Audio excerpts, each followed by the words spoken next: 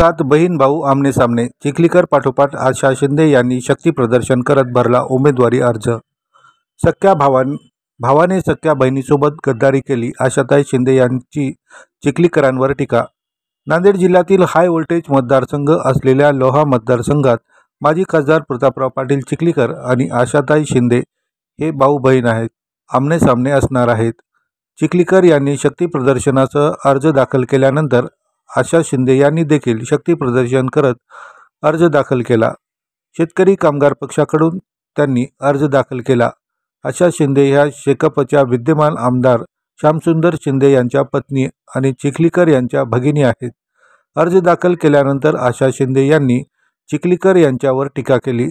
लाडक्या बहिणीने भावाला मोठे करण्यात आयुष्य घातले पण भावाने लाडक्या बहिणीसोबत दगा केला. माझ्या आईवडिलांना चिखलीकरांना सांगितले होते बहीण आणि दाजीसोबत बैमानी बैमान होऊ नकोस पण तो बैमान झाला अशा शब्दात आशा शिंदे म्हणाल्या. दरम्यान येत्या काळात बहीण भावामध्ये प्रचारादरम्यान कलगीतुरा पाहायला मिळणार आहे. तारखेला मिटेल ते सगळं. हे बघा ही सिटिंग महाविकास आघाडीने पहिलं तू सत्र ठरवलं. त्या सिटिंग उमेदवार आहेत त्याची चर्चा करायची निधी हाताला द्यायची शेका पक्षाची एकमेव सिटिंग सीट ही खंदारची होती. ती आम्हाला मिळालेली आहे. त्याच्यावर करू. पण गेल्या खेपेलाही अडसष्ट हजार मताने आम्ही सीट जिंकली होती. अशा ताईंचं आज बघितलं वक्तृत्व. अरे आई अशा ताईंचं जे पाच वा पाच वर्षामध्ये जे काम केलेलं आहे. शिंदे साहेबांनी केलंच. पण आशाताईंनी व्यक्तिगत गावोगावी जाऊन काम केलेल्याची पोच पावती आहे. आशाताईंनी हे ही तिकीट पार्टीकडनं पार्टीचा विरोध असताना जनतेच्या आणि कार्यकर्त्यांच्या पाठिंब्यावर आणि त्यांच्या आग्रहावर खेचून आणण्याची कमाई किमया कमाईपेक्षा किमया अशा ताईने केलेली आहे. हे मी जाहीररित्या या ठिकाणी सांगतो. आणि ही ही जागा ही सर्वाधिक आशाताई या महिला उमेदवार आहेत. पण महाराष्ट्रातल्या येणाऱ्या महिला उमेदवारामध्ये सर्वाधिक मताने निवडून येणारी आमची आशाताई असेल उमेदवारी जर माघारी घेतली नाही ठाकरे गटाच्या उमेदवाराने तर काय स्टँड असणार आहे शेकापचा नाही नाही स्टँड काय आम्ही महाविकास आघाडी इथे आहेत. काल पण मी उद्ध- उद्धवजींना भेटलो. त्यांच्या निवासस्थानी मातोश्रीवर तुम्ही बघितलं टी व्हीवर मी परवा पण बघ भेटलो. आणि त्याच्यावर चर्चा चर्चा केली. आणि पवार साहेबांनी ह्याच्यावर चर्चाच नाही म्हणून सांगितलं होतं. परंतु मी त्या वादात पडणार नाही. तुम्हाला तो प्रश्नाचं उत्तर पाहिजे. तेवढ्यासाठी आम्ही महाविकास आघाडीमध्ये तूट होईल फूट होईल मतभेद होतील असं कुठलंही वक्तव्य मी अजूनपर्यंत केलं नाही आणि करणार नाही आहे आम्हाला ठाम विश्वास आहे आणि आमचा विश्वास एवढा आहे की या उमेदवाराचं जे व्यक्तिगत काम आहे आज बघितलं तुम्ही हजारो लोक या ठिकाणी सकाळी उपास पा उपासमारी उपासमार करून या ठिकाणी मिरवणुकीत सामील झाले. आज आता जवळजवळ साडेचार वाजलेले आहेत. मी सकाळी अकरा वाजता या ठिकाणी आलो होतो आणि म्हणून मला वाटतं की हा विजय नक्कीच आहे. महाविकास आघाडीचाच आमचा उमेदवार असेल आणि महाविकास आघाडीला अशा ताईकडे एवढी ताकद आहे की महाविकास आघाडीला तो पाठिंबा द्यायला भाग पाडेल ती.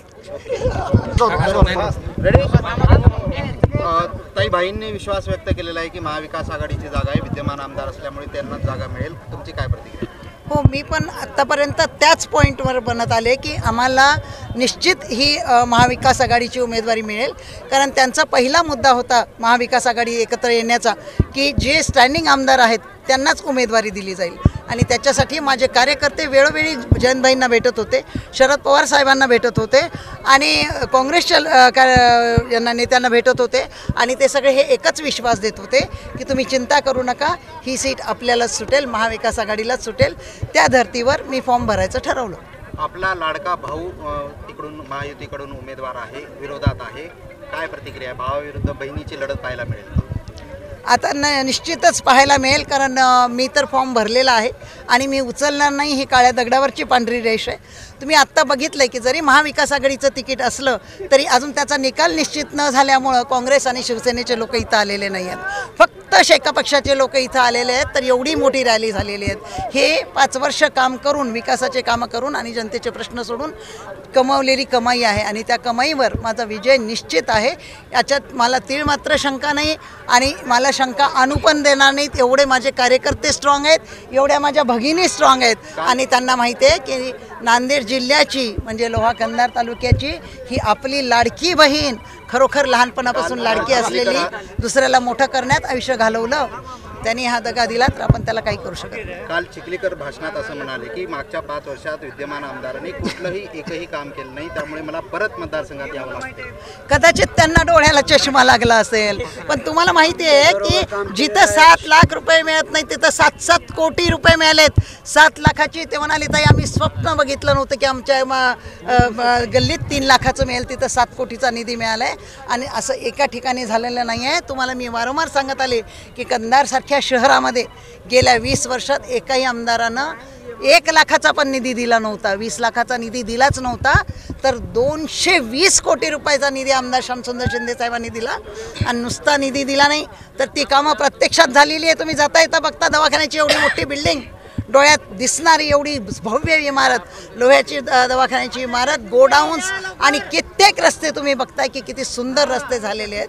जिथं लोक झोपतात त्या रस्त्यावर सिमेंटचे परदेशात गेल्यासारखे रस्ते झाले.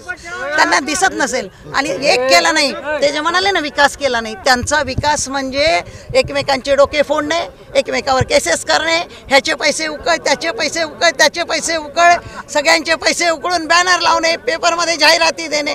आम्ही ते केलं नाही. कदाचित त्या दृष्टिकोनातून त्यांना वाटत असेल यांनी विकास केला नाही. आमचा विकास असा आहे. बघा माळेगावचे पा पाणी पुरवठा माळाकोळीची अं, पाणी पुरवठा योजना त्यांनी रोखली होती. पंचेचाळीस कोटी रुपयाची योजना दिली आणि आज सगळ्या घरोघर पाणी आहे. शंभर वेळा त्यांच्या विरोधकांनी सांगितलं की ताई टक्केवारी घ्या ताई टक्केवारी घ्या. शिंदेसाहेब म्हणले पाण्यातून टक्केवारी घ्यायचं माझं काम नाही. तेवढ्या सर्कलची निवडणूक होते साहेब. म्हणले मला ते जमणार नाही. आणि हे याला साक्षी आहेत हे स्वतः सरपंच आहेत.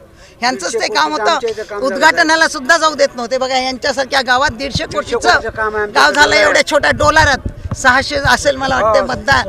जिथं जिथं सहाशे मतदान आहे जिथं जिथं चारशे मतदान आहे तिथे एक कोटी दोन कोटी. विकास कामांच्या जोरावर आपण निवडणूक नक्की, परंतु या विकास- निवडणुकीत- विकास या कामावरच हे जमलेले. या निवडणुकीत आपल्याकडे काय असे मुद्दे असतात असतील की जे लोहा कंदारसाठी आम्हाला हे करायचं आहे? हो काय- अशीच विकासाची कामं पुढे चालू राहतील. सगळ्यांना पाणी मिळेल प्यायला कारण सगळ्यांना मिळालेलं नाही आहे सिंचनाचा प्रश्न जे चोवीस तलाव मंजूर करून आणले आणि ते काही जणांनी अडवल्या गेले ते त्या त्या ठिकाणी राहिले ते नक्कीच आपण ते सिंचन पूर्ण करणार आहोत. राहिलेले रस्ते करणार आहोत. गोरगरिबांना न्याय देण्याचा प्रयत्न करणार आहोत आणि प्रयत्न नाही तर सगळ्यांना आता जसा न्याय मिळतो तसा न्याय नक्कीच मिळेल. माता भगिनीवर अत्याचार कसा होणार नाही त्यांना कशी साथ देता येईल त्यांचे प्रश्न कसे सोडवता येईल याच्यात मी जास्त पुढाकार घेणार आज तुम्ही बोलताना भाऊक झालेले पाहायला मिळाले. ज्यावेळेस तुम्ही भावाचा उल्लेख केला त्यावेळेस तुम्ही भाऊक झाले. ते काय नेमकं काय आठवलं त्याचं? कारण आहे माझे आई वडील जेव्हा माझे वडील अंथरुणावर पडले आणि मरायच्या पुढं वर्षभर ते रोज त्यांना सांगत होते म्हणे बापू आणि शिंदे साहेबाला बैमान होऊ नको बरं. आशाबाईला बैमान होऊ नको बरं. जर असं झालंच तर तुझा सत्यनाश होते. त्यांच्यामुळं आज आपण आहोत. त्यांच्यामुळं आज आपण आहोत. तो असं करू नको बरं. असं रोज सांगत होते हे मला वहिनीने स्वतः सांगितलं. कारण माझ्यासमोर एकदा म्हणले बापू असं असं झालं. बाबा म्हणलं असं का म्हणताय? ते म्हणे रोजच म्हणतात आम्हाला. आणि आम्ही कसे तुम्हाला बैमान व्हाल? पण आता तुम्ही बघताय की काय होतंय ते.